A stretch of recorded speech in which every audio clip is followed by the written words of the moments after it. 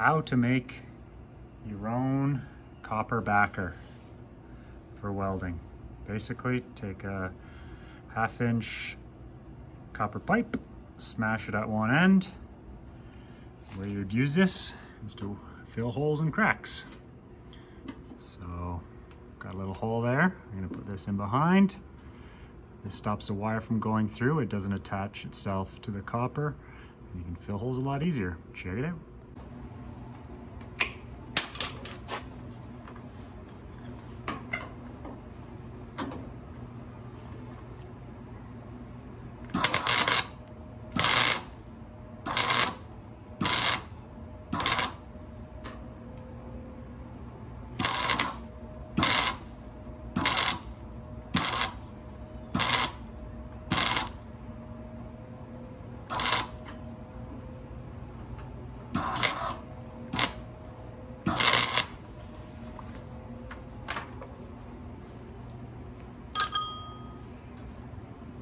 Grind that flush.